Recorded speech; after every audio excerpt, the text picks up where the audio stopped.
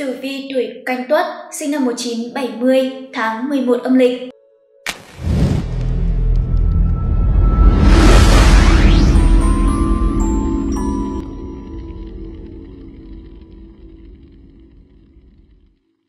Chào mừng quý anh chị và các bạn đã quay trở lại với kênh Phong thủy Gia Cát, kênh thông tin hữu ích chuyên chia sẻ và truyền tải các kiến thức về tử vi, phong thủy và đời sống tâm linh. Đặc biệt, được hướng dẫn và tư vấn bởi thầy Gia Cát, một trong những bậc thầy về phong thủy nổi tiếng tại Việt Nam. Quý vị thân mến, tính cách đặc trưng của những người tuổi canh tuất sinh năm 1970 là cực kỳ trung thành, thông minh và giỏi chịu đựng. Hầu hết người tuổi canh tuất đều nhận được nhiều sự quan tâm và yêu thích.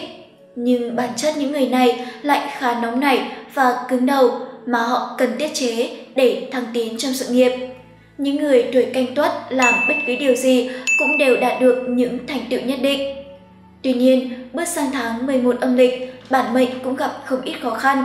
Thay vào đó, luôn vướng vào những chuyện không đâu, làm bạn mất thời gian đi giải quyết vấn đề, thậm chí còn ảnh hưởng đến công việc.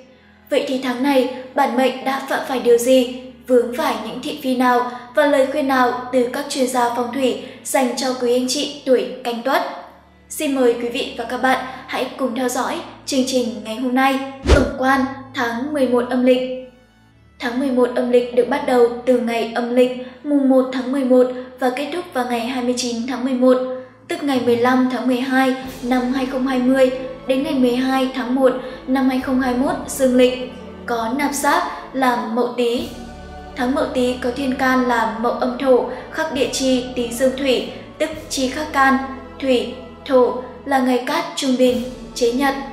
Nam âm là phích lịch hỏa, tháng thuộc hành mộc, khắc hành thổ. Tháng Tý lục hợp sửu, tam hợp thìn và thần thành thủy cục, sung ngọ, hình mão, hại mùi, phá dậu và tuyệt tỵ. Đối với những người tuổi canh tuất trong tháng 11 âm lịch này sẽ cần tránh các ngày. Đầu tiên là ngày âm lịch mùng 1 tháng 11, tức ngày 15 tháng 12 dương lịch, có nạp giáp là nhâm thìn. Thứ hai là ngày âm lịch 13 tháng 11, tức ngày 27 tháng 12 dương lịch, có nạp giáp là giáp thìn. Thứ ba là ngày âm lịch 25 tháng 11 năm 2020, tức ngày mùng 8 tháng 1 năm 2021 dương lịch, có nạp giáp là Bính Thìn. Đây là ba ngày không được cát lành khi tính theo tuổi của các mệnh chủ tuổi canh tuất. Trong những ngày này, mệnh chủ cần phải hết sức chú ý. Tốt nhất, không nên thực hiện những công việc quan trọng. Lời khuyên từ các chuyên gia phong thủy cho bản mệnh là nên chú ý tới sức khỏe nhiều hơn, tiêu tiền và những việc cần thiết, không nên vùng tay quá chán. Đồng thời, để công việc thành công, may mắn, kích công danh, tài lộc, tình duyên, các gia chủ nên sử dụng vật phẩm phong thủy, minh quang pháp bảo. Nếu mang vật phẩm bên mình sẽ hỗ trợ tốt cho sức khỏe của gia chủ, đồng thời sẽ hộ thân, tăng cường vận khí, giúp gia chủ đón tài lộc, nhận được nhiều may mắn cả trên con đường tình duyên và sự nghiệp. Ngoài ra còn có các ngày tốt đối với người canh tuất trong tháng 11 âm lịch năm canh tí 2020. Ngày âm lịch 12 tháng 11 năm 2020, tức ngày 26 tháng 12 dương lịch, có nạp giáp là quý mão, có nạp âm là kim bạc kim. Thứ hai là ngày âm lịch 24 tháng 11, tức ngày mùng 8 tháng 1 dương lịch, có nạp giáp là ân mão, có nạp âm là đại khê thủy, đây là 3 ngày cát lành trong tháng để các gia chủ tiến hành các công việc liên quan đến xuất hành hay tiến hành những công việc quan trọng sẽ dễ có kết quả cao. Hoặc những vấn đề nhỏ trong gia đình bạn tiến hành đều hết sức thuận lợi.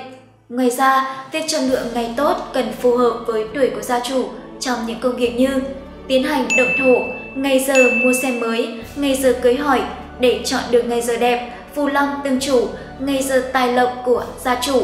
Anh chị và các bạn hãy để lại thông tin trong phần bình luận. Theo mẫu họ tên, ngày tháng năm sinh, số điện thoại hoặc có thể liên hệ trực tiếp tới số hotline được hiển thị trên màn hình để được tư vấn hoàn toàn miễn phí. Tổng quan tử vi tuổi canh tuất trong tháng 11 âm lịch. Tử vi tháng 11 âm lịch của tuổi canh tuất sinh năm 1970 sẽ không hoàn toàn tốt đẹp như mong muốn. Mậu dương thổ gặp tốt dương thổ nên gọi là tỷ kiên, nghĩa là được sự trợ giúp hỗ trợ từ những người thân, anh em của mình. Trong tháng này, nếu gia chủ gặp phải những vấn đề khó giải quyết hoặc không giải quyết được, hãy nhớ mình vẫn còn có những người thân xung quanh mình để tìm sự giúp đỡ, hóa nguy thành an, hóa hung thành cát. Những gia chủ tuổi canh tuất vốn là những người thông minh và giỏi chịu đựng. Hầu hết những người tuổi canh tuất đều nhận được rất nhiều sự quan tâm và yêu thích. Nhưng bản chất những người này lại khá nóng nảy và cứng đầu mà họ cần tiết chế để thăng tiến trong sự nghiệp. Như vậy, những người tuổi canh tuất mới có thể đạt được những thành tựu nhất định dù làm bất cứ điều gì hay lĩnh vực gì. Trong tháng này, các gia chủ canh tuất sẽ cần chú ý ngày âm lịch 13 tháng 11, tức ngày 27 tháng 12 dương lịch, có nạp sát là sát thìn và ngày âm lịch 25 tháng 11 năm 2020, tức ngày 8 tháng 1 năm 2021 dương lịch, có nạp sát là bính thìn. Đây là ngày không được cắt lành khi tính theo tuổi của các mệnh chủ tuổi canh tuất sinh năm 1970. Trong những ngày này, mệnh chủ cần phải hết sức chú ý. Tốt nhất, không nên thực hiện những công việc quan trọng như nhập trạch, động thổ, tiến hành hợp tác làm ăn. Nếu muốn tiến hành, cần tham khảo kỹ càng ý kiến từ các chuyên gia phong thủy để may mắn thuận lợi trong công danh tài lộc. Quý gia chủ nên mang bên mình vật phẩm phong thủy, minh quang pháp bảo để kỵ tà, hóa sát, chiêu phúc, nạp tài, tịnh hóa nghiệp lực, gia trì công đức, từ đó thâu thu tài lộc, hỗ trợ hành mệnh cho gia chủ, sự nghiệp của tuổi canh tuất. Bước sang tháng 11 âm lịch của năm canh tí, đây là tháng mà mọi việc tiến triển rất thuận lợi cho gia chủ tuổi canh tuất. Việc bạn tự tin bạn khá tự tin trong việc thực hiện mọi kế, bạn khá tự tin trong việc thực hiện mọi việc theo kế hoạch vì chúng đều là thế mạnh của bạn. Tháng này hoàn toàn thích hợp để bạn đầu tư vào một lĩnh vực, nhưng không được mạo hiểm, liều lĩnh đầu tư quá mù quáng mà bản mệnh không mà bản mệnh cần phải có kế hoạch hợp lý và học hỏi. Như vậy, bạn mới có thể thành công và gặp may mắn về tài lộc. Tuy nhiên, cần chú ý tháng này luôn có một người đấu kỵ với bạn sẽ gây ra rắc rối trong mọi việc. Mặc dù không phải hậu quả lớn, nhưng cũng gây tổn hại cho hình ảnh, nên thận trọng lời ăn tiếng nói và thái độ tại nơi làm việc. Những gia chủ tuổi canh tuất mang bên mình vật phẩm phong thủy tam giáp khai vận, dần, ngọ, tuất để kích con đường công danh, tài lộc, thêm phần hành thông, rộng mở.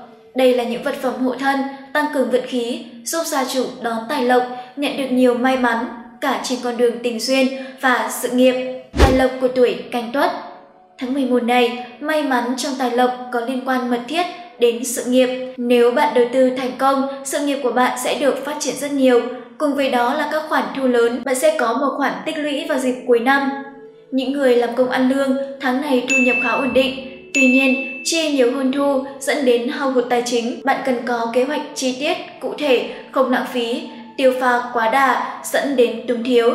Đối với những người tuổi canh tuất, tốt nhất nên đeo vòng tay tam giác khai vận, dần, ngọ, tuất giúp mang lại phong thủy tốt, tăng tài lộc, may mắn, từ đó tiền tài cũng tăng lên.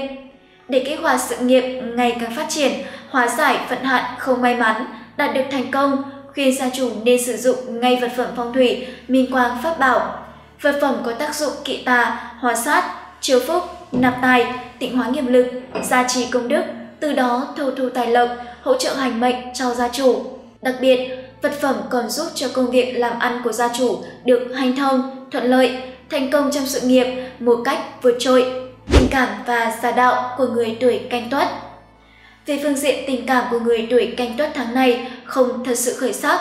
Với những người độc thân, mặc dù vài mối nhân duyên sẽ đến với bạn, nhưng tất cả đều không thành do tính cách của bạn không hòa hợp được với đối phương. Bạn cẩn trọng, tỉ mỉ nhưng không nhiệt huyết, ga lăng. Tuy vậy, bản mệnh cũng không nên buồn chán hay có những suy nghĩ tiêu cực mà chỉ duyên chưa tới mà thôi. Với những người đã có gia đình, xung đột, tranh cãi xảy ra liên miên, cách tốt nhất giải quyết vấn đề này là bình tĩnh trao đổi với người bạn đời của mình để tìm ra cách giải quyết nhất quán tuyệt đối, không áp dụng quan điểm của bảo thủ khi có mâu thuẫn. Để cải thiện vận tình duyên và kích hoạt đào hoa thì người tuổi canh tuất hãy sử dụng vòng tay tam giác khai vận dần, ngọ, tuất giúp chiêu quý nhân, hòa hợp vợ chồng, tăng cường sức khỏe và gia đạo. Sức khỏe của tuổi canh tuất trong tháng 11 âm lịch, sức khỏe của người tuổi canh tuất khá tốt. Tuy nhiên, do bạn lo lắng quá nhiều, thiếu ngủ cho nên tinh thần không thực sự tốt cho lắm. Bạn cần có sự sắp xếp lại cân bằng lại công việc và cuộc sống, thay đổi bản thân để có thể tiếp tục các bước hoàn thành mục tiêu. Hãy chăm chỉ tập luyện thể dục, thể thao để duy trì thể trạng tốt nhất cho mình, ăn uống, nghỉ ngơi hợp lý để có sức khỏe bền lâu, có sức đề kháng tốt. Ngoài ra gia chủ tuổi canh tuất nên đem theo bên mình pháp khí phong thủy minh quang pháp bảo dần, ngọ, tuất để đem lại sức khỏe và sự bình tĩnh trong tâm thức. Trên đây, kênh Phong thủy Gia Cát đã chia sẻ đến anh chị và các bạn về vận trình tử vi của tuổi Canh Tuất trong tháng 11 âm lịch. Mọi phương diện đều khá tốt, nhưng gia chủ tuổi Canh Tuất cần chú ý đến việc cân đối chi tiêu và có khoản tiền dự trữ để cố gắng may mắn, thành công, các gia chủ nên mang bên mình pháp khí phong thủy, minh quang pháp bảo. Minh quang pháp bảo được coi là vật phẩm hoàn hảo, chứa đựng linh khí trời đất, được hội tụ bởi những tinh hoa Phật Pháp cùng sự chất lọc những tinh túy linh thiêng của đất trời chứa nguồn năng lượng xua tan được tà ma. Đây chính là nghiên cứu được các thầy trong Hiệp hội Phong thủy Tâm linh Việt lồng ghép vào trong đó. Cảm ơn quý anh chị đã theo dõi video của chúng tôi để được hỗ trợ chi tiết hơn về vấn đề trạch cát, sử dụng phù hợp cho từng tuổi và những dự định công việc của quý anh chị sắp tới và những dự định công việc của quý anh chị thực hiện trong tháng hoặc tử vi 12 con giáp trong từng tháng. Kênh Phong thủy gia Cát rất cảm ơn quý anh chị và các bạn đã luôn quan tâm, theo dõi và ủng hộ video của chúng tôi. Mọi người đừng quên like, đăng ký kênh và nhấn vào tín hiệu chuông để không bỏ lỡ bất kỳ điều gì. Còn bây giờ, xin chào và hẹn gặp lại!